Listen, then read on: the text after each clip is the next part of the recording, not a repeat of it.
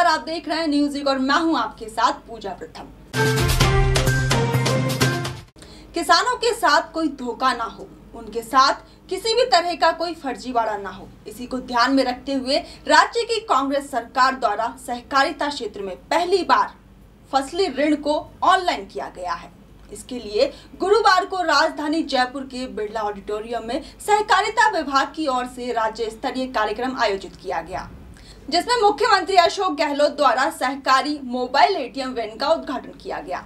मुख्यमंत्री अशोक गहलोत ने अपने उद्बोधन के बाद एटीएम वैन को भी हरी झंडी दिखाकर क्षेत्र के लिए रवाना किया। सहकारी क्षेत्र में फसली ऋण के ऑनलाइन सिस्टम में कई बार देखा जाता है कि कई किसानों को लंबे समय में आवेदन करने के बाद भी उन्हें लोन नहीं दिया जाता। और कई बार किसान लोन लेता भी नहीं है, लेकिन फिर भी कोई दूसरा व्यक्ति उसके नाम से लोन ले लेता है। इस तरह के कई फर्जी फर्जीवाड़े सामने आए हैं। लेकिन अब किसानों के साथ ना ही तो कोई धोखा होगा और ना ही किसी तरह का कोई फर्जीवाड़ा होगा। ऑनलाइन फसली ऋण वितरण में किसानों को आवेदन करते ही तुरंत ही लोन मिल जाएगा। अपने भाषण के दौरान मुख्यमंत्री अशोक गहलोत ने कहा कि सरकार किसानों के साथ हमेशा खड़ी है। किसानों को कभी भी खाद बीज की कमी नहीं होने देंगे। सहकारिता विभाग द्वारा आयोजित राज्य स्तरीय कार्यक्रम में ऑनलाइन फसली ऋण वितरण की शुरुआत करते हुए सबसे पहले कोटा ज़िले के किसान हेमराज को दस हज़ार रूपए का ऑनलाइन फसली ऋण भुगतान किया गया। मुख्यमंत्री गहलोत ने किसानों से संवाद व्यक्त करते हुए उनका धन्यवाद किया और आपस में बातचीत की शुरुआत राम राम शाह से की। अलग अलग जिलों से आए किसानों ने कांग्रेस सरकार के कार्यकाल में हुई कर्ज माफ़ी को लेकर गहलोत से संवाद किया।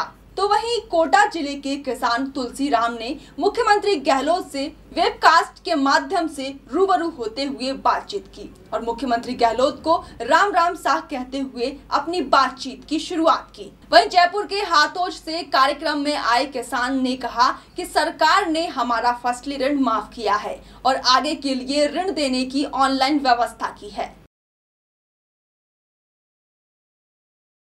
हमारा पीछे तरह हज़ार रुपये माफ़ हो गए और जो हमारे कर्ज में थे ना, वो कर्ज माफ़ होने से दूसरे के पास में पैसा नहीं लेना पड़ा और हमारे मुक्त होने से हम बच गए। हाँ अच्छा लगा। और वही कह ये एटीएम से पहले कोई बीच में कोई निकाल लेते थे, वैसे किसानों को डायरेक्ट लाभ मिलेगा एटीएम वगैरह से।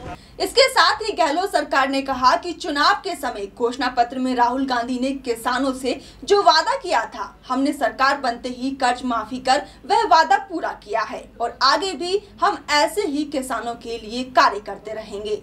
वह इस कार्यक्रम में सहकारिता राज्य मंत्री टीकाराम जूली ने कांग्रेस सरकार और गहलोत की प्रशंसा करते हुए कहा कि मुख्यमंत्री गहलोत हमेशा किसानों के चहेते और मसीहा बने रहे हैं और किसानों के हित में कई सारे काम किए हैं और आगे भी करते रहेंगे। इसके साथ ही उन्होंने किसानों के लिए बजट में की गई घोषणाओं पर कहा कि यह तो केवल ट्रेलर है। किसानों के हित में पूरी फ़िल्म अभी बाकी है।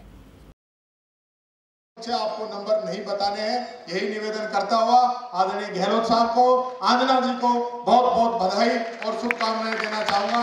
और ये कहना चाहूँगा कि कल का जो बजट था, वो एक ट्रेलर के रूप में कोई जीवन का ऐसा सोपान नहीं, जिसके लिए गहलोत साहब ने व्यवस्था नहीं की हो। जब बच्चा पैदा होता है, तब से लेकर जब बुज़ुर्ग शमशान तक जाता है, तब तक की व्यवस्था आदरणीय गहलोत साहब ने की है। आपके सारे आयाम जीवन के जो है, उन सब पे आपकी व्यवस्था की है। अभी शुरुआत हुई है, आने वाले समय में पूरी पाँच साल की सरकार आपकी है। किसानों के हित में और निर्णय होंगे, ऐसे मुझे उम्मीद है। किसानों को फसली ऋण देने का काम लंबे समय से चला आ रहा है, लेकिन अब इलेक्ट्रॉनिक का जमाना है। वहीं कांग्रेस सरकार गहलोत के नेतृत्व में किसानों को ऑनलाइन फसली ऋण देने का काम करने जा रही है। इसके लिए किसान अब सोसाइटी के चक्कर नहीं लगाएँगे।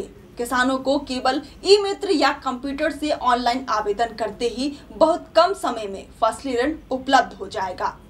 इसके लिए सहकारी एटीएम मोबाइल वैन की भी व्यवस्था की गई है और जल्दी ही एटीएम वैन की संख्या बढ़ाकर हर ग्राम पंचायत और तहसील तक इसकी सुविधा को पहुँचाया जाएगा। सहकारिता के क्षेत्र में वर्षों से सहकारी बैंकों द्वारा ग्राम सेवा सहकारी समिति के मार्फत ऋण देने का काम वर्षों से चला आ रहा है। और वो मैनुअल सिस्टम था। समय उस समय ऐसे था। इलेक्ट्रॉनिक जमाना नहीं था। और हाथ से दिया जाता था। लेकिन अब जमाना बदला है इलेक्ट्रॉनिक का जमाना है, और जब विभाग संभाला था। मुख्यमंत्री गहलोत ने अपने उद्बोधन में कहा कि किसानों के फ़ायदे के लिए हमने बजट में हर गाँव में नंदी गौशाला खोले जाने की घोषणा की है। इसके साथ ही उन्होंने कहा कि अभी आधुनिक युग का समय है और टेक्नोलॉजी का समय है। इसी को ध्यान में रखते हुए हमने ऑनलाइन फसली ऋण की व्यवस्था की शुरुआत की है। जिसमें आप घर बैठे मोबाइल से फसली ऋण के लिए आवेदन कर फसली ऋण प्राप्त कर सकते हैं। किसानों की आय को बढ़ाने के लिए गहलोत ने कहा कि किसान दिन रात मेहनत करते हैं, लेकिन उनको अपनी मेहनत के अनुसार उतनी आय प्राप्त नहीं होती है। लेकिन अब किसानों को खेती के साथ साथ उससे संबंधित उद्योग भी स्थापित करने चाहिए। इसके लिए हमारे प्रयास जारी हैं और विभाग को निर्देश भी दे रखे हैं। सरकार इस बारे में किसानों की पूरी मदद करेगी। वही मुख्यमंत्री गहलोत ने ऑनलाइन फसली ऋण व्यवस्था के बारे में बताते हुए कहा कि पिछली सरकार के कार्यकाल में फसली ऋण वितरण में कई घोटाले सामने आए थे। उसकी भी जाँच जारी है। और अब ऐसा दोबारा नहीं हो, इसके लिए हमने ऑनलाइन फसली ऋण वितरण की व्यवस्था की है। इसमें किसानों के साथ ना ही कोई धोखा होगा और ना ही कोई उठा लिए और वो लोग चले गए बिज़नेस कर लो या नहीं चलेंगे। अब हमने जो तजवीज़ करी है, अंगूठे वाली, आधार कार्ड, आधारित कर्जा माफ़ करने की पूरी जाँच हो रही है। कौन असली कर्जेदार है, जो कर्जा माफ़ हो रहा है, ये लोग तो फली निकलते हैं। फ्यूचर के अंदर आप निश्चिंत रहें, ऐसी व्यवस्था की जा रही है। आपके नाम से कोई फर्जीवाड़ा नहीं है। और अभी मिस्टर जूली ने कहा था आयंद्रा ने कहा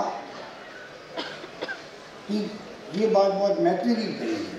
अभी जो ये लोग, ऐसे तत्व हैं देश के अंदर, दुनिया के अंदर नहीं, कि वो आपके एटीएम के नंबर लेकर के आपके बैंक के खाते के नंबर लेकर के, और बैंक में कहाँ निकाल लेती है। आपको पता नहीं पड़ता कदा कब निकल गया। इसका दुर्गा घटना के लिए होती है। तो बचने के लिए आपको इन्होंने आह्वान किया, वो भी आप अपने ध्यान में रखें। यही बात कहता हुआ मुझे अच्छा लगा कि अभी मैं किसानों से बातें करी मैंने अभी। ऑनलाइन फसली ऋण वितरण जी, क्या जी। इसके फ़ायदे मिलेंगे? कितने किसानों को ऋण देखिए आज माननीय मुख्यमंत्री महोदय की मुख्य आतिथ्य में एक बहुत बड़ा कार्यक्रम आज राजस्थान के समस्त ज़िलों से आए कृषक बंधुओं की उपस्थिति में आहूत किया गया है। इसके माध्यम से आज से ऑनलाइन ऋण वितरण का कार्यक्रम शुरू कर दिया गया है। लगभग पाँच लाख किसानों के पंजीयन हमें प्राप्त भी हो चुके हैं। प्रक्रिया ऑनलाइन प्रारंभ है। हमारे कृषक बंधु किसी भी जीएसएस पर या ई मित्रा पर जाकर के अपना पंजीयन करा सकते हैं और उनको पहली बार ये व्यवस्था की गई है कि आधार, आधारित ऑथेंटिकेशन और बायोमेट्रिक ऑथेंटिकेशन यानी अंगूठा लगाने के बाद सच्चे किसान को ही लोन दिया जाए। जो पहले हमेशा शिकायतें आया करती थी कि कागज़ में एंट्री हो गई, घोस्ट एंट्रीज़ हैं जिसमें आदमी है ही नहीं, उनको लोन मिल गया, उनका लोन माफ़ हो गया। उन तमाम शिकायतों का निराकरण अब की बार हो जाएगा और जो सच्चा किसान है, उसको लोन मिलेगा और जो इस प्रकार की बदमाशियाँ करते हैं निराकरण हो जाएगा। एटीएम वगैरह भी शुरू किए जी बिल्कुल जैसे कि आपने देखा है कि लगभग एक हज़ार एटीएम लगाने की सरकार की मंशा है। जो मोबाइल वैन है वो मोबाइल वैन भी आज से यहाँ से भेज दी गई है। उसका कार्यक्रम भी हमने बना दिया है। वो अलग अलग पंचायतों में जाएगी। वहाँ पर कृषक बंधु अपना पैसा निकाल सकेंगे। जितनी भी बैंकें हैं किसी भी बैंक का एटीएम कार्ड अगर हो तो उससे वो निकाल सकेंगे। हमें पूरा विश्वास है कि ग्राम, ग्रामीण क्षेत्र में जो राज्य सरकार की मंशा है, उसके अनुरूप सहकारिता विभाग काम करेगा। और जैसा आज मुख्यमंत्री महोदय ने कहा है, इस विभाग में सहकारिता क्षेत्र को, इस आंदोलन को और आगे बढ़ाने की काफ़ी गुंजाइश है। तो हम सब मिल करके इसको उस दिशा में लेकर के जाएँगे। थैंक यू फ़िलहाल के लिए समाचारों में इतना ही। देश, दुनिया की तमाम खबरों की जानकारी के लिए देखते रहिए न्यूज़ यू नमस्कार।